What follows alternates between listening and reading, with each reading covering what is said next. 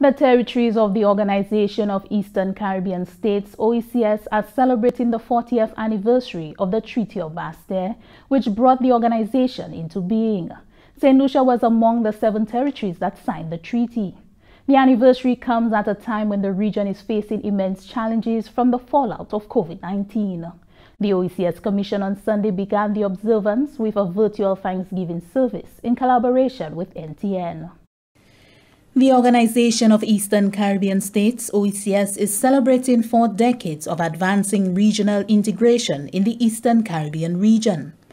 The OECS came into being on the 18th of June 1981 when seven Eastern Caribbean countries signed a treaty agreeing to cooperate and promote unity and solidarity among the members.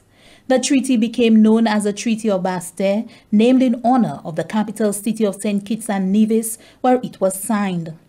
The OECS is now an 11-member grouping comprising seven full member states and four associate members.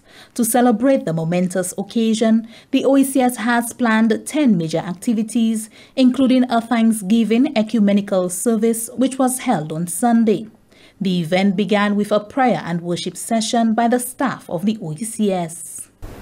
Our Father, Sovereign, Supreme, Almighty God, we come together in the name of your Son, Jesus Christ, our Lord and Redeemer, to offer worship, praise, and thanksgiving for your faithful fountain of unconditional and abiding love to us day by day from the mountain tops, valleys, and quicksands of our life experiences in the OECS over 40 years. You do mighty things, you do glorious things. You're a faithful God, awesome is your name. You do mighty things, you do glorious things. Is your name. You do mighty things. You do glorious things. You're a faithful God. Awesome is your name, Jesus.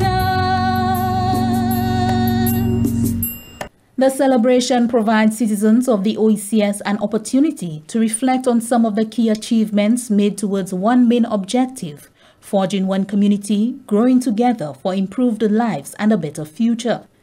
Major milestones were passed in 40 years of regional integration in the Eastern Caribbean in multiple areas including education, health, social development, free movement of people and goods, trade, environmental sustainability, and cooperation, among others.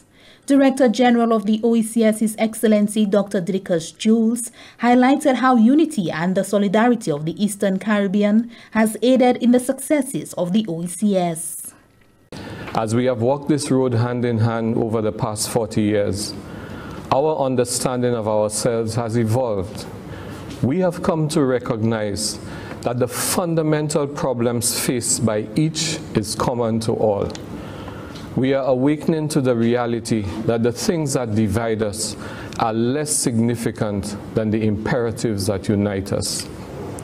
The celebration of this 40th anniversary is an occasion to celebrate this unification and to remember those moments when one has helped the other the occasions when we have hurdled our warmth against an international climate that has become increasingly frosty. As we give thanks to God today, we must also appreciate the leaders, political and executive, who have started and guided the institutions of the OECS on this journey. We must also remember the adversities over which we have collectively triumphed so that recollection can fortify our future resolve and reinforce our resilience. The God of the day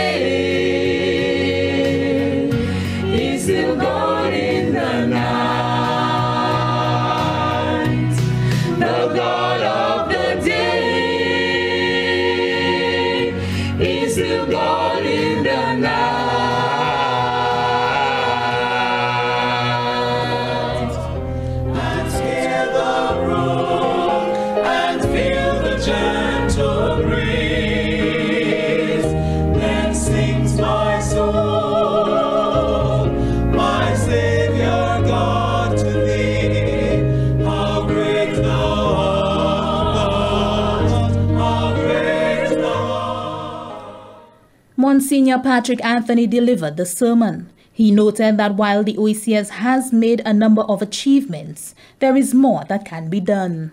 Like the mustard seed, that saman tree, that massive tree, was once a little seed, was once a little seed, and it grew. And look at the massive tree that's become. For me, that is a symbol of the OECS. Our capacity, our potential, that despite the challenges that we face every time, hurricanes, COVID, what tomorrow we don't know what will come. However, we know that within us, as Jesus Christ has said, we have the power. We have the power given by God. We have the Spirit of God. We have the capacity. And as Peter came to recognize in Acts 10 when he says, The truth I've come to realize that God has no favorites and that anybody of any nationality who fears God and does what is right is acceptable to him. We, the people of the OECS, nous gens OECS là, we have that faith, we have that belief in God, we have that conviction in Christ, and we understand what is within us. That capacity that we can become small, we may be, but man, we can become giants. We can become giants. And our little OECS seed, we can stand tall before the world. I'm not trusting in the structure of these walls. Structures can